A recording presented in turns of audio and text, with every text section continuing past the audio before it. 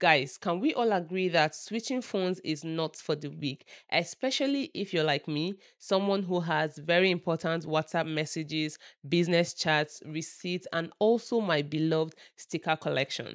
You see those chats, the media, and most of all, those stickers, they are all memories, reaction, and personality traits. So, when I switched phones recently, I needed a way to move everything neatly without losing a single thing. And that's how I ended up testing MobileTrans. And by the way, they were kind enough to send me a license key, which gave me full access to try everything out properly.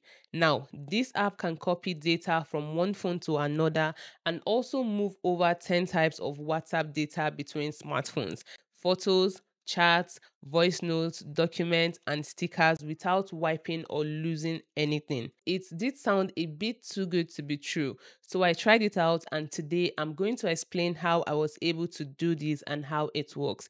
So here's the deal this works on Android and iOS and vice versa. This is what happened. I had WhatsApp on my iPhone, so I needed to move everything here, which includes my media, documents, messages, plus those from WhatsApp business as well. Obviously, this wasn't going to be easy because, first of all, it's a new device, which also happens to be an Android device. My chat history is also massive because I've had this device for quite some time. My photo folder is a mess as well, and weirdly enough, I didn't really want to lose my really interesting sticker collection. But before someone says, Buddy, why didn't you just use the regular backup and restore method? My reason is pretty simple if you've tried that, you already know it is painfully slow. It doesn't always bring everything back, and some things get overwritten. And sometimes switching from iPhone to Android is like asking your devices to speak different languages. So I thought, what if I just try MobileTrans and see whether it actually works like they say it does? Now, keep in mind with MobileTrans, you get to transfer over 10 kinds of WhatsApp data, like I mentioned earlier, and even other chat apps like Line or Viber on top of that, this happens to be faster than the official method when you're doing WhatsApp transfer and other third party tools as well. Also, with MobileTrans, you can restore Google Drive backups to iOS.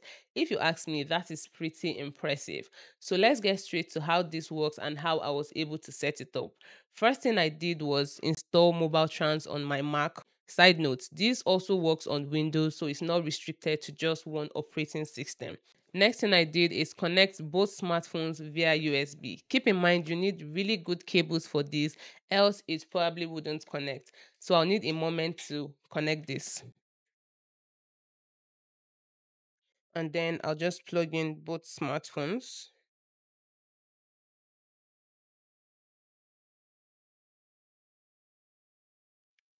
Once connected, it detects both smartphones. In this case, I connected both the iPhone and the Android, but like I said, you can do it either ways, Android to iOS as well.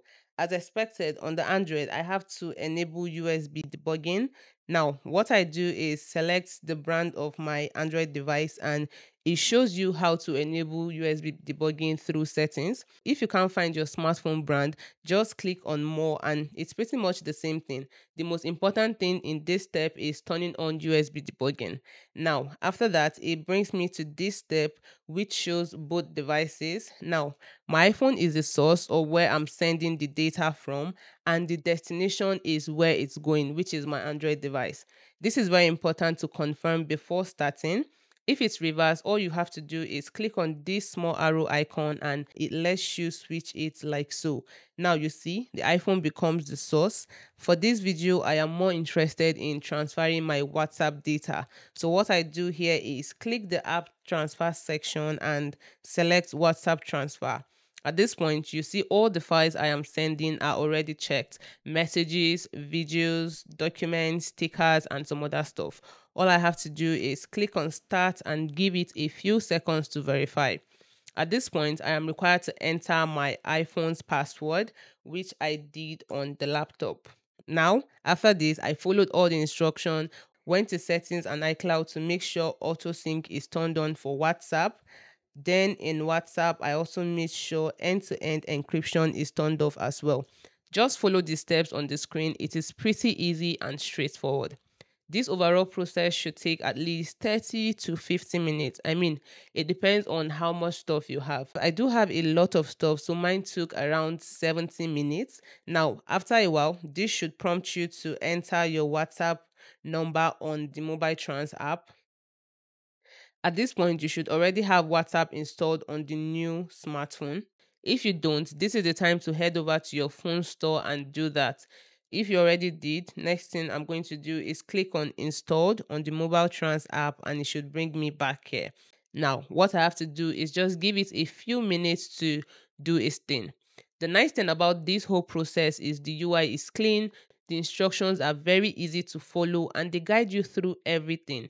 You don't even need to be a tech guru to be able to pull this off.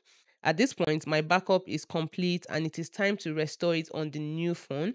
So what I did is open WhatsApp on the new smartphone enter my phone number and on the screen i have these different instructions with pictures putting me through. So i just select the option that applies to my device.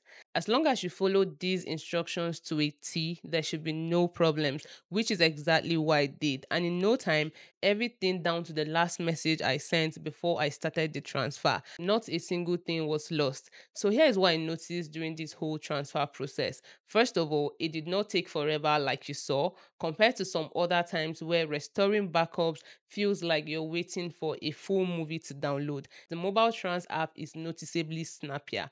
All my chats came through neatly, even the long group messages, voice notes, audio clips, photos, and videos as well. Something else you need to check out for is the transfer and merge feature on this app. I actually tested it and honestly, it's impressive. Let's say you already set up WhatsApp on your new smartphone and you have a bit of chat history there.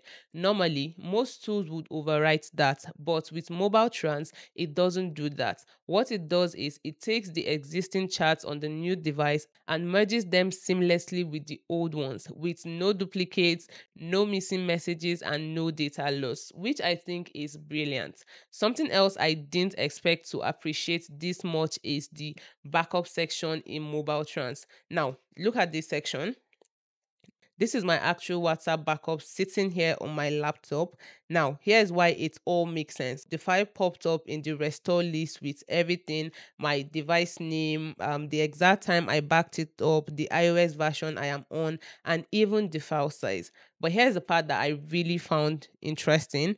I'm in control of everything here. If I ever want to restore this data again, all I have to do is click on this restore button and set it up on any phone, which means I don't have to go through the whole process of backing it up again. And I can also delete it if I want. So I'm not scared of someone getting a hold of my WhatsApp backup. It's one of those features you don't realize is a lifesaver until something goes wrong. Side note, I think if you work in phone repairs, phone retails, or you handle device switching of phone for customers. This tool is like a cheat code. Instead of doing all those long, complicated transfers or risking data loss, you can back up a client's phone in minutes and restore it just as easily. It makes you look professional, it saves you time, and honestly, it is one of those tools that pays for itself after a few uses. Now, after concluding my backup, here are some of the things I can confirm and things that also stood out to me. It is fast, like I mentioned, it moves everything, it merges data, and lastly, it restores across platforms. But of course, it is not perfect because you need a computer for this. You can't just open the app on your smartphone and do everything there, which is basically the only downside this has. As someone who documents a lot on WhatsApp, concludes a lot of deals there as well. Losing data is not an option. Seeing my full history on the new phone made me realize this is a tool I can actually trust. So, is MobileTrans worth it? For me, the answer is definitely yes. If you're switching phones and you care about preserving your entire data, this is one of the smartest tools I've used and it delivers exactly what it promises. Anyways, that's my take. But honestly, if you're planning to switch phones soon, give MobileTrans a shot and I'm pretty sure you'll thank me later. I'll attach a download link to it in the description box below and that is it from me. If I just showed you one of the best ways to back up your data, don't forget to hit that like button, subscribe if you haven't and I'll catch you guys on my next one.